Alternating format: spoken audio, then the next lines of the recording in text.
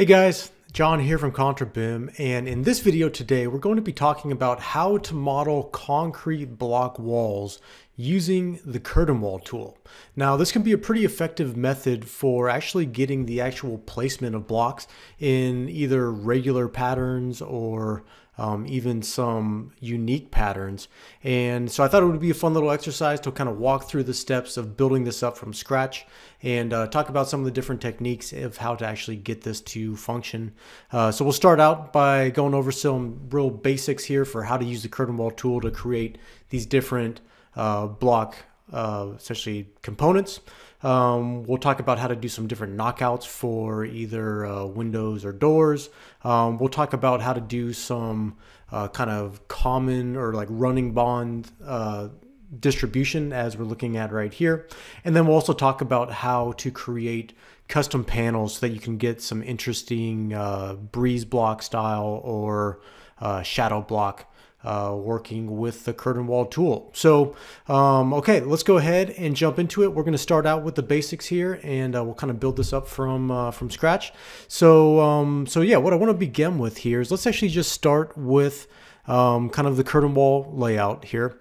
Um, we're going to open up the curtain wall settings and let's just actually start by, we're going to just clear the pattern so that we don't really have anything in here um, at all. So when you hit this little X up in the top corner here, that does clear the pattern. So all we have now is just a deleted panel.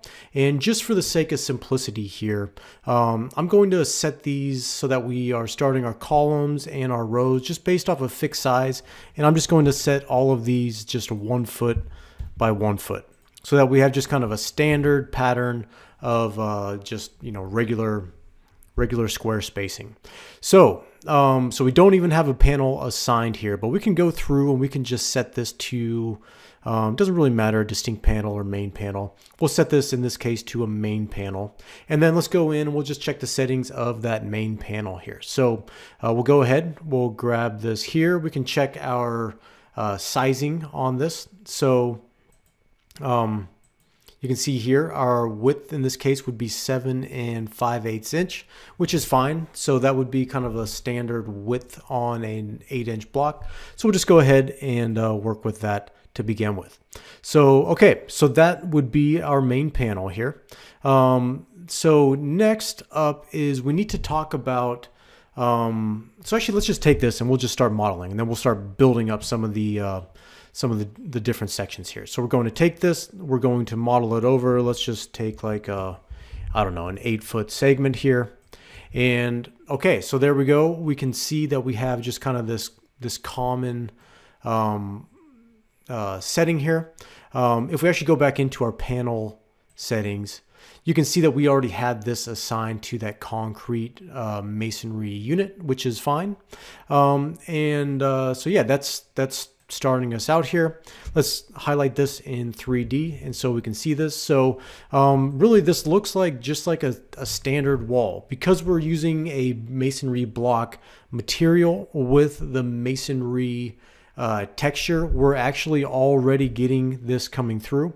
But if we go in, or sorry, we're already getting the pattern coming through. But if we go in and we turn off our panels and we turn on like our scheme grid, you can see that yes, we are on that one foot by one foot pattern here. So, okay, so with that, it's time to really start getting in here and creating a little bit of division. And I think actually a good place to start with this is let's actually, we can leave this as a concrete masonry unit, but let's just do some overrides here. And I'm just going to set this to like a, oh, we could use any of these different concrete textures. Let's just do like a precast dark for the moment. And we'll just make all those the same. And okay, so there we go. We can see that we have uh, really just like, it looks like a solid panel coming through now. So, okay, if we want to start actually getting some spacings and some grids coming through, um, we need to go back to our scheme setting here. And when we click on these, you can see that the reason that our wall currently is all being merged together here is because we just have this simply turned on as merge panels. So we can take these, we can just, we can actually assign these as like a division um, and we can see if that gives us anything different. So you can see, nope, it's not going to. It's just going to leave it as um, that one merge panel. So if we want to actually start getting some of these spacings as um, what we could typically see in our grout lines or our mortar uh, gaps, um, we actually need to start assigning a frame to this here. So um, we have some options. When we click on one of these right now, we just have it set to a division, um, but we could either, you know, we could either merge the panels, we have just a general division, or we can assign some of our frames here. So we can even go into our frames and just create a new category here, and we can just call this um, like a, a mortar gap, which would be fine in this case. Um, I like, uh, honestly, I just like leaving these as invisible. I think that I think they do a good job of just giving us that that look of that reveal. But you can start going through and applying different um, actual frames to get that mortar to be represented. But in this case, we're just going to leave it simple and start out with an invisible frame here. And okay, so we can leave it at 1 8 inch. That's going to leave us with a quarter inch total, um, which is fine for now. Typically it's a 3 8 inch. So in that case, we would set this to 3. Actually, let's just do that. We'll set this to 3 16ths. So that would give us our kind of common 3 8 gap because this is from our center point here. And so with that, we can go back to our scheme and we can just assign these both on the top and on the side as a mortar gap. So our other boundaries that we have here for along the direction, you know, on the on our boundaries, um, we can go back to our frames here, just check these, and I usually like just zeroing these out with this type of application of block. So, okay, so with that, we've now applied our mortar gaps on each side. Let's hit okay and see what we get. Okay, so we are starting to get this coming through. If we exit our curtain wall mode, you can kind of see that, okay, yes, we are starting to get uh, kind of the, the breakup in those individual uh, uh, panels there. So that's that's wonderful. That's what we wanted. Um, we can even go in here now, and um, if we wanted to give this just a little bit more definition, maybe we just change it from like a gray to a black. And so now we can really see those contours coming through. So, okay, so with that here, we can take this now because this is a curtain wall and we can just start, you know, pulling this out. We can send this another, I don't know, eight feet and so now we can simply just model with our curtain wall and actually get this coming through, which does, to me, this does look a lot uh, kind of cleaner and a lot more definition than what we get from our just our standard CMU uh, pattern. And um, so with this, because it's a curtain wall, we can go through and um, we know these are one by one spacing. So we go through and just kind of turn off our, our frames, turn off Actually, we'll leave our frames on.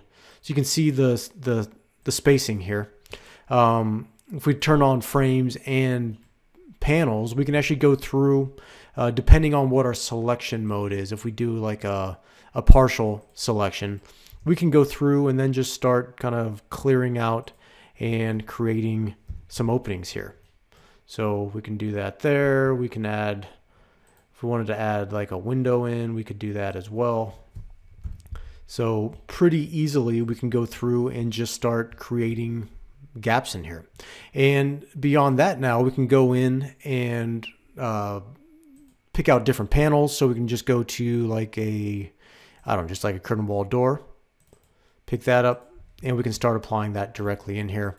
We can do the same thing with a window. Um, let's see, double window. So we can start infilling directly in just by using our kind of standard spacing here from our uh, block layout. So, um, okay, so that is one method of just simply creating a common pattern, just a one by one. And uh, yeah, we deleted some out. We went in and, uh, you know, added uh, some doors and windows. Um, of course, here I probably want to go through and maybe do some editing on the actual settings here. So we may want to go in and adjust how that is being set within there. Um, but we can play around with those settings and get those um, to push in a little bit. Let's see what two inches does. Okay, so that does, that brings it in quite nicely. Okay, so let's take this one step further here now. So we have this common one foot by one foot spacing. I'm actually going to pick up the settings on this wall and um, we can start modeling with this again. It looks like I actually got a little off spacing there when I probably extended it. So let's take this one step further here and we are going to just create like a 10 foot long segment and then we're going to go in and we're going to modify the settings on this one. So, okay, so let's jump back in here. Just highlighted this in this direction. And okay, so let's go back into our scheme. What I want to do now is I want to modify this scheme here so that we can get more of a running bond uh, style. So in order to do that, I'm actually going to reduce the sizing on our gaps here. So we're going to go six inches by six inches, and we're going to create a few more segments here. Uh, I'm not sure how many we'll do total. We'll do, yeah, two rows here. And so now what we want to do is we can go through and we can actually start deleting out some of these panels and we can just leave these as like a merge panel here. So based off this, we can go through and we can we can leave our joints for our mortar gaps here, but then we can go through and just simply delete out the ones that we don't want and we're going to merge those panels back together. So we actually don't even need this row here. I'm going to remove that row. And this should give us a pretty kind of nice even spacing here um, actually, you know what? I'm going to add one more. One more row. So we're going to delete out that gap there. And then we are going to insert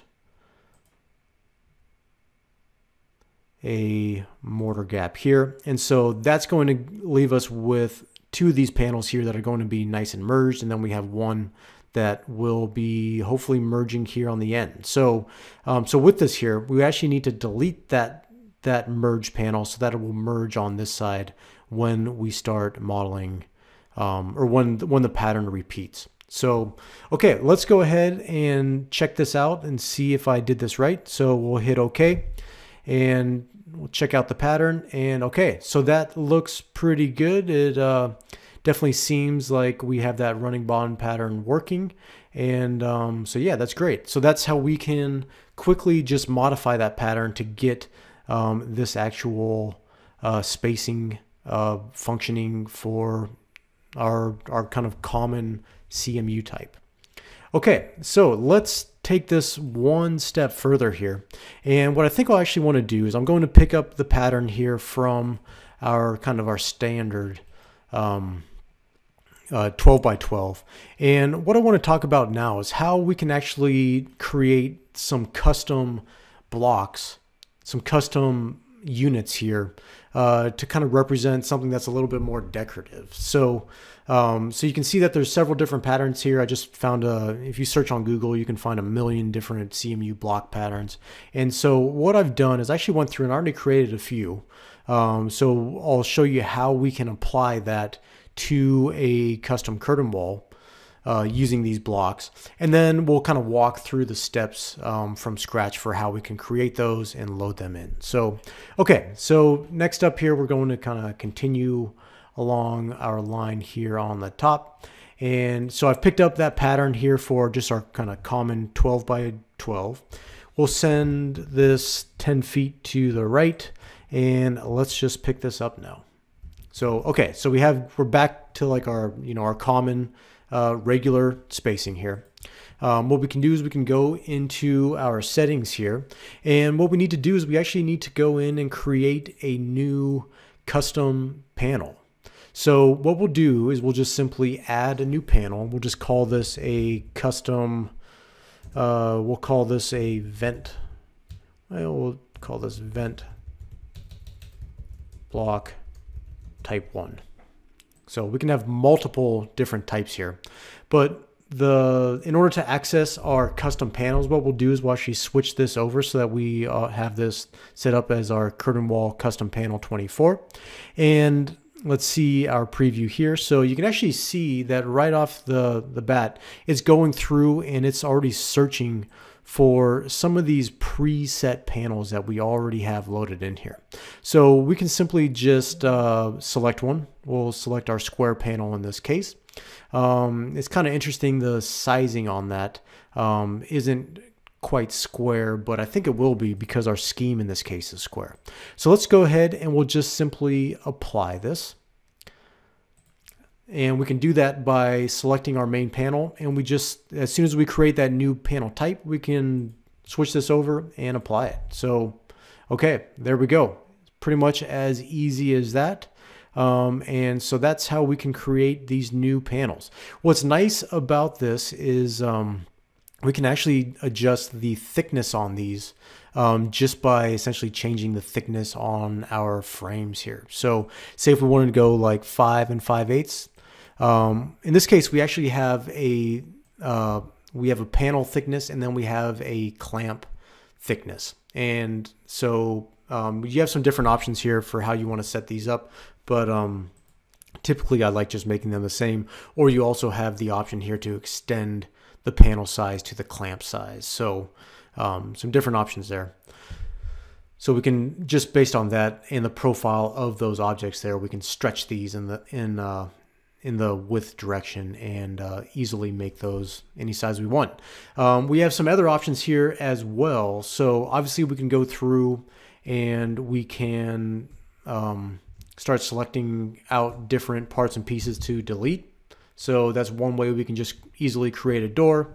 Um, if we wanted to get into, say, like our, um, let's do this. Let's turn off our panels and we go in here to our frames. We de delete these out, and we turn back our panels, you can see that that's automatically going to go through and fill that back in. So you can actually see how it's stretching it here. So it's stretching it really in uh, just one direction. So it, it, we kind of start getting skewed a little bit on our thicknesses there, but um, but still, it makes it really easy to go through and make some modifications here, and we can quickly just add those back if we wanted to.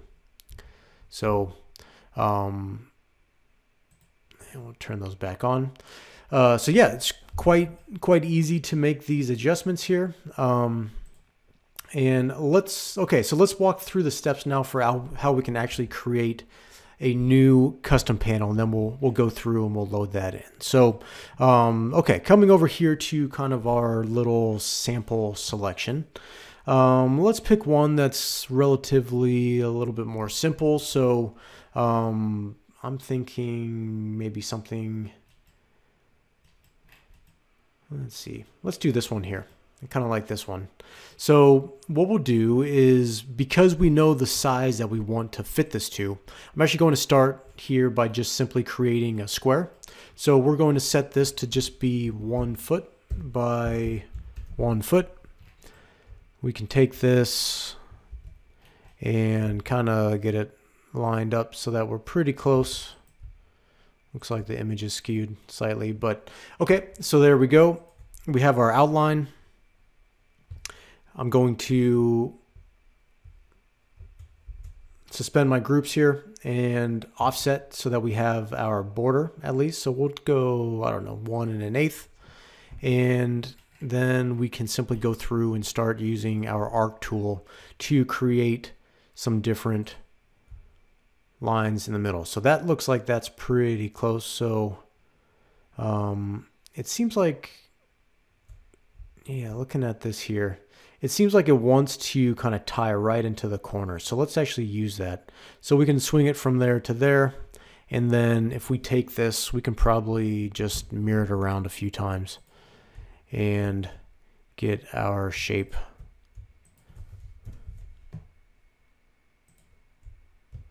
going. Okay, so we're starting to get our outline there. I probably should have offset this. So what we'll do is we'll offset directly to the middle.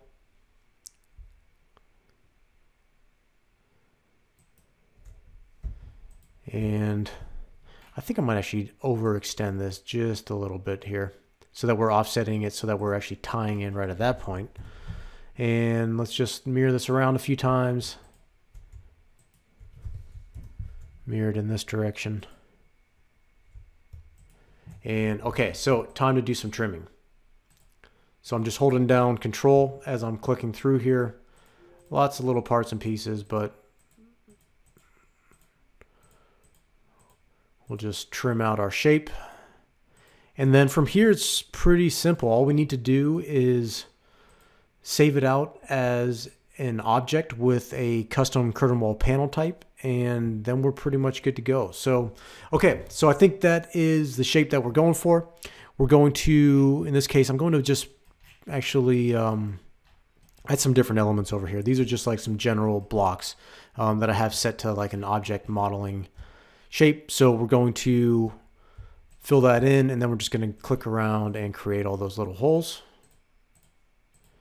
So one thing I've noticed with this is it definitely does help when you have this set to zero as kind of your starting point. So I'm going to move it off of zero for the moment.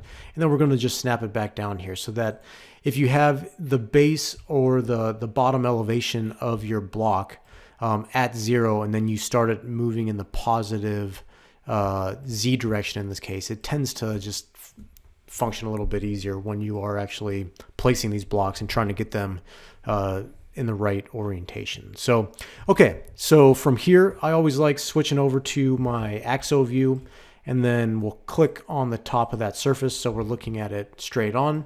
And then with it selected, we'll simply go to libraries and objects, save selection as curtain wall panel. And it's going to ask you, okay, um, we're creating a new curtain wall panel, will be rotated to fit the custom reference plane. Um, and so it's just asking which plane is parallel to, or which which face or which plane is parallel to this plane. So in this case, that's going to be the horizontal plane. Um, I think the current editing plane would also work in this case, but we'll use horizontal plane and continue and save. And then we'll just call this uh, CMU. Um, I'm going to call this a flower because it kind of looks like a flower shape. So, okay, let's hit save on this. Okay, and as soon as we save this, now we can go back to our custom panel there. So I'm going back to, sorry, we're gonna go back to that pattern that we had created, kind of up here to the right. We'll actually take this, we'll copy it all the way over, isolate here in 3D. I always like going back to perspective. And then all we need to do is we can go in and let's create a new panel type. So we're going to add a new one and we're just going to call this uh, type 2 in this case. So we have event block type. Yeah, we're just duplicating the previous one. And so with that, all we need to do is go and find it from our drop down here. So as soon as you save that object type, it's going to recognize that it's a curtain wall panel and then you can simply just select it and we should be good to go from here. So we hit OK. Um, oop, we forgot one step there. So last step is we go to our scheme and then we can simply just uh, assign it to our type 2 in this case. And okay, so what happened here is it actually recognized that we had gone through and done some custom work on these the the header here. So with that, we would actually want to go through and we can um, reapply our new panels. And so the way that we can do that is we can simply just eyedropper this and then inject.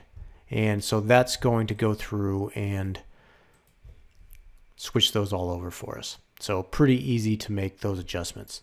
Uh, the same thing works if we wanted to give it some detail. We can switch this back. So we can go pick one. Um, we can set this up as, so let's just do uh, a diamond in this case. Might be kind of like a nice flare. Okay, so this is one case here where you can actually see that I think that's one that I'd saved where it was going in the negative direction. And so with that, we can go in, you might find that you have to go through and flip these around. And we can actually see that flipped, but we still need to um, change our offset. So I think in this case, if we, I think we can actually do a negative panel thickness. No, I guess not. So we're just going to simply offset this in the other direction. So it does take a little bit of time playing around with this, I've noticed. So that's why it's useful to have it very predictable which direction you're going. So, okay, so we can switch that out. We can probably go in and change the coloration on that as well in our custom settings here. So if we switch this over, we could go to, oh, what might look good? Hmm, these are all just materials. I guess we can just, we don't need to override the material. Let's just override the surface. So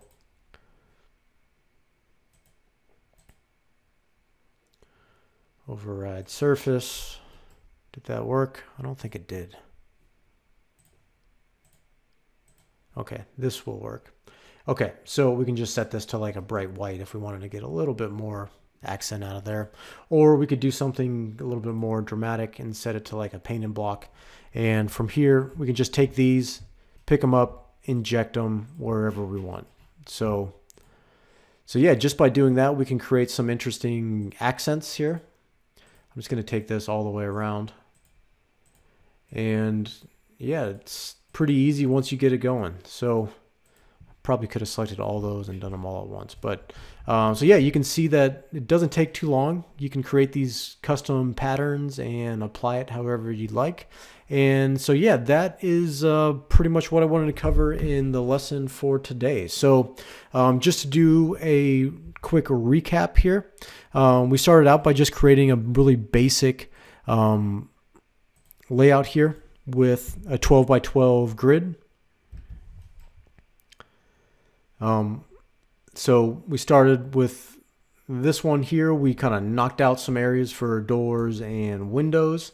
Uh, we then went through and made some adjustments to our spacing so that we could get a little bit more of like a, uh, uh, a running bond style as we're seeing here um, which is pretty typical for concrete masonry blocks. We did that by setting our grid slightly smaller so that we had a six by six and then we merged the two sixes in this case. So you could go through and adjust those and you know if you wanted to change the height on one of these, say we go to four inches, you could really start giving it a little bit more variation just by changing um, you know a few values there.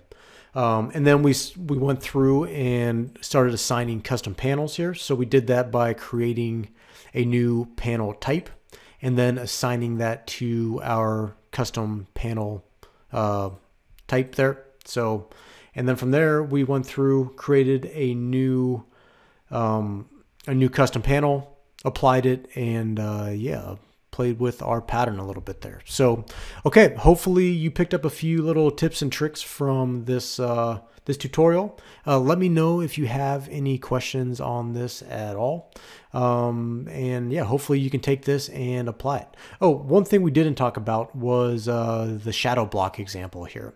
Um, and actually there's one little note here that I want to point out. So what's cool with once you get these set up and if you have some patterns that are not um, exactly the uh, symmetrical, meaning that each one of these individual blocks here is actually an individual um, element with this kind of custom face on this. There is a direction associated with these. So you can actually see there's a little node in here and you can grab this and you can take it and drag it around. And based off the settings of this object here, it's going to um, essentially go through and uh, just rotate it in whatever direction you want. So if we undo those last two, you can see very easily how I created these kind of pointing in from the side here. So you can take these and just kind of swing them around in whatever direction you want. So, um, so these are stretchy. So if you, it's always good to have you know full spacing on the different blocks. Um, but uh, but yeah, you can take these and adjust your pattern as needed, or you can always go through and switch these out for uh, uh, common common elements, kind of like what I did down here. This is still a custom block, but it's just a uh, without any sort of uh, face profile. So, okay, with that, I think that probably wraps this one up. Uh, if you have any questions, then leave it in the comments section. If you like this type of content and tutorials like this on ArchiCAD, uh, be sure to subscribe and uh, like and share the channel. And um, yeah, we will catch you here on another ContraBIM video very soon. Thanks for watching. Bye-bye for now.